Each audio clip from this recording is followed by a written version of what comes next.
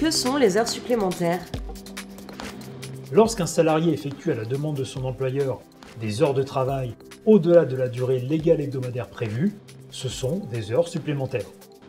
Le fait de réaliser des heures supplémentaires donne droit à une compensation. Elle peut prendre la forme d'une rémunération plus favorable ou d'un repos compensateur. Ces compensations sont basées sur les heures supplémentaires effectuées et le taux de majoration qu'elles présentent. Quelles sont les modalités d'application des heures supplémentaires Les heures supplémentaires doivent être réalisées par les salariés à la demande de leur employeur. La demande peut se faire à l'écrit ou à l'oral.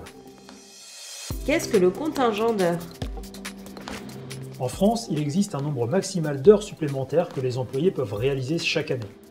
C'est ce qu'on appelle le contingent annuel. Selon le secteur d'activité des entreprises, il peut varier. Ainsi, le nombre d'heures supplémentaires qui est prévu dans le contingent annuel est indiqué dans la convention collective.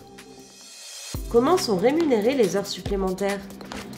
Le taux majoré des heures supplémentaires dépend de la convention collective de la société.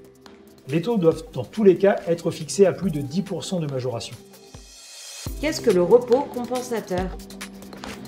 Dans le cas où le salarié n'est pas rémunéré pour ses heures supplémentaires, il bénéficie d'un repos compensateur.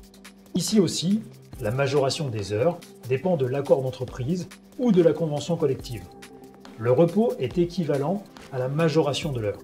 Ainsi, si un employé réalise deux heures supplémentaires à un taux majoré de 50%, il bénéficiera d'un repos compensateur de 3 heures.